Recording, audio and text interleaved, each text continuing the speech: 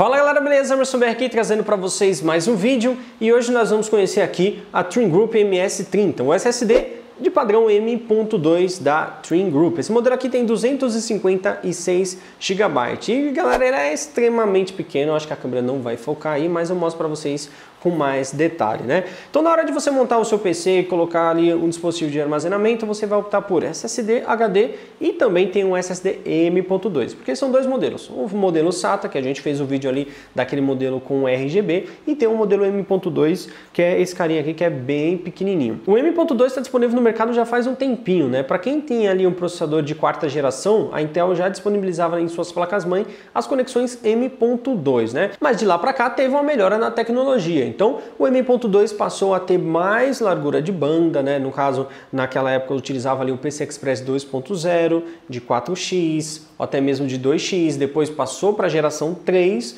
e aí com 2 e com 4x. Então, 3.0 4x no M.2 atualmente seria o que há de melhor para você conseguir colocar no seu PC. Mas isso só faz sentido para dispositivos que utilizam o protocolo NVMe, porque eles permitem né, você passar ali a barreira dos 3 GB por segundo, né, o que é muita coisa. Já mostrei vários modelos aqui no canal aí para vocês, tá?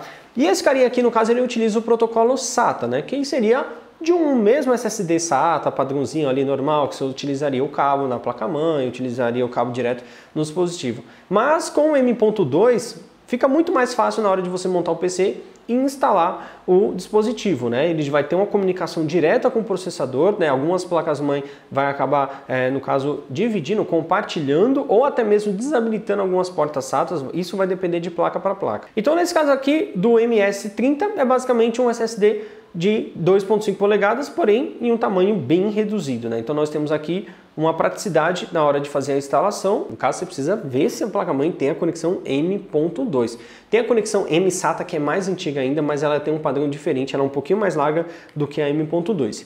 E nesse caso, né, facilita muito na hora de você montar o PC, porque não, como não requer cabo, como o HD ou um SSD que utiliza ali a conexão SATA de dados e o SATA de energia, né, tendo mais coisas para colocar no PC, esse cara aqui você só vai plugar ali e acabou. O processo de instalação do sistema operacional é exatamente o mesmo, né? Ele vai reconhecer ali bonitinho e tudo mais, e aí é só prosseguir com a instalação sem problema algum, né? E como ele utiliza o protocolo SATA, isso possibilita com que ele seja compatível com as placas mais antigas que têm a conexão M.2, mas que não tem, tinha compatibilidade ali com o NVMe, que é um protocolo que Hoje em dia, todas as placas-mães que têm M.2 já suportam o NVMe, né?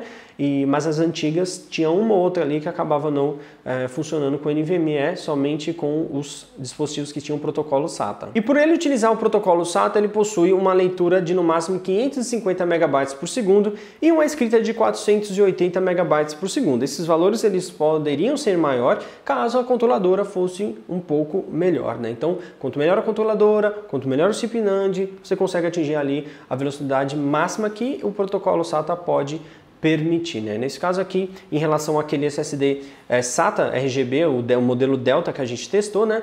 Tinha lá os seus 560 contra 510, né? 560 de leitura e 510 de escrita, beleza? Mas mesmo assim, são valores muito bons, a gente vai tirar aqui da caixinha. Eu particularmente, quando né, tem, compra alguma coisa, eu gosto de guardar a caixa, tudo bonitinho. Esse padrão de caixa aqui, você é obrigado a cortar, né? Então a gente vai ter que cortar aqui para ter acesso aí ao dispositivo e então a gente conseguiu utilizar ele e botar para rodar os testes, né? É uma característica bem interessante que o, até o próprio SSD SATA uh, trabalhava ali com temperaturas entre 0 e 70 graus. Esse M.2 aqui é a mesma coisa, né?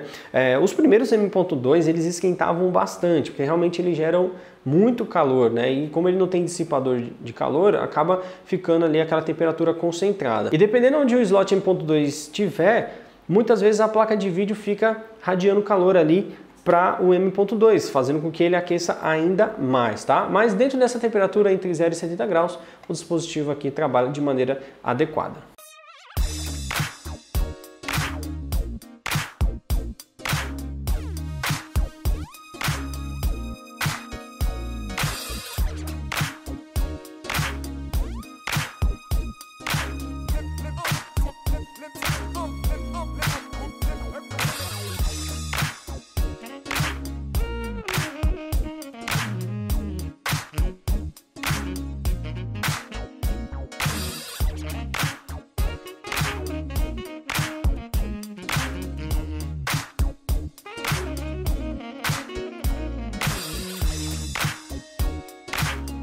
Bom, galera, então como de costume, vamos rodar então aí o AIDA 64 no teste de leitura para a gente ver como será o desempenho aí desse MS30.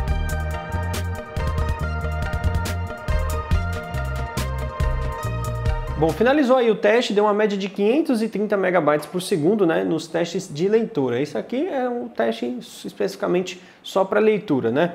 Na embalagem do MS30 ele informa 550 megabytes, mas acredito que esses resultados a gente só vai conseguir ver aí com o cristal Diskmark que a gente vai rodar já já. Então, primeiro teste ali 526, os demais 530, buffer 511 e um tempo de acesso de 0,02 milissegundos. Né? Na faixa dos 500 ali tá tranquilo, tá de boa. Mas vamos rodar então agora o cristal Disk Mark para a gente ver como que ficará os resultados.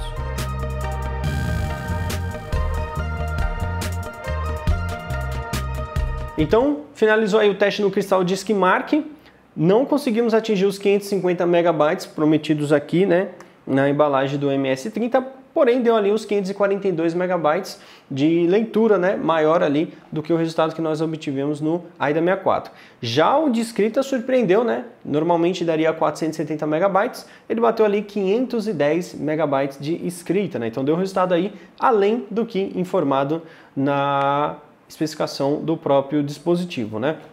Nos demais testes, como eu mostrei para vocês ali quando eu testei o Delta RGB, né, ele tinha dado também os valores abaixo. A gente vai fazer um comparativo aí entre um e outro para vocês verem os resultados, né, utilizando esses mesmos testes que, nós fizemos aqui. De acordo ali com a nossa leitura e nossa escrita, apenas a leitura ficou ali cerca de 8 MB abaixo do que deveria ficar, mas é claro que se você fazer vários testes, vai dar uma pequena variaçãozinha, às vezes vai dar um pouquinho a mais, às vezes vai dar um, um pouquinho a menos, mas achei bastante satisfatório, deu uma pontuação bem legal, né, um resultado bem interessante, e no caso, quando a gente estava utilizando ele durante os testes, ou até mesmo com o PC assim que ligou, ele se manteve em 40 graus Celsius, não estou utilizando dissipador de calor, apesar do meu próprio PC aqui dar a possibilidade de colocar um dissipador de calor, mas eu preferi testar ele sem o dissipador de calor para verificar como que ficava a temperatura dele, né?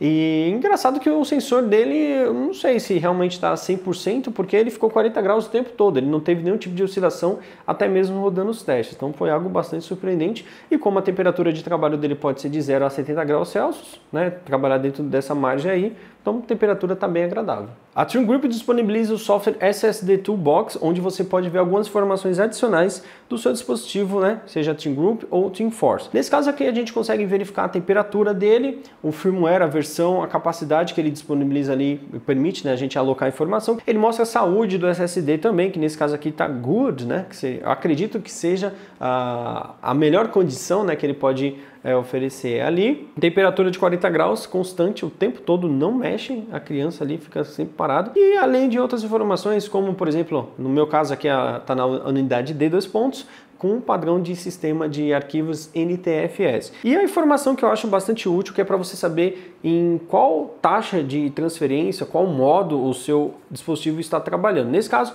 seria o Current Supported Mode, né? que basicamente seria o atual né, modo que está trabalhando e qual é o que o dispositivo permite ou suporta no caso.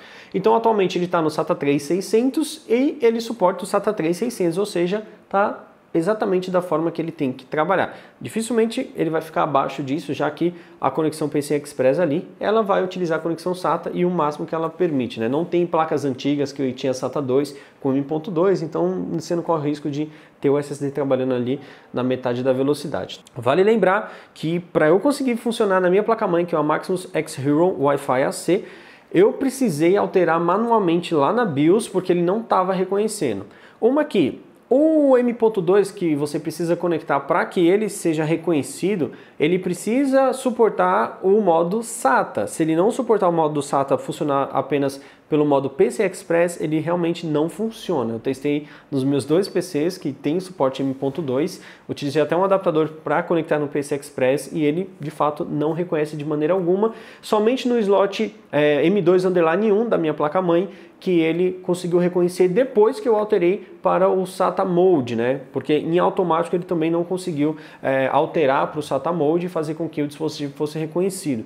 Então tive que fazer essa, esse ajuste aí e dessa forma aí então eu consegui fazer com que ele reconhecesse no sistema e assim a gente conseguisse dar continuidade nos testes aqui. Então fica essa dica aí para você que adquirir aqui um MS30 precisa fazer essa alteração ali na BIOS. Pode ser que aí na tua placa-mãe ele reconheça de maneira automática sem precisar fazer nem algum é, tipo de alteração, mas se caso não reconhecer, você já sabe aí que precisa fazer esse tipo de ajuste na BIOS. Né? Então a minha BIOS é dessa maneira que vocês estão vendo, alterei ali a opção né, que já indica M.2, underline 1, modo alto, PC Express ou SATA Mode. Então deixei no SATA Mode, salvei, saí da BIOS e aí reconheceu perfeitamente, tranquilo? Bom galera, então esse foi o vídeo de hoje, espero que vocês tenham gostado aí, conhecer um pouco do MS30 da Team Group. Então se você gostou, deixa aquele like, compartilhe esse vídeo com seus amigos para que eles possam conhecer e ver um pouquinho aqui também deste SSD M.2 da Trim Group, beleza? Se ainda não é inscrito, se inscreva no canal e ativa o sininho aí para não perder nenhuma notificação daqui para frente. Vou ficando por aqui, um grande abraço a todos, valeu! Até a próxima!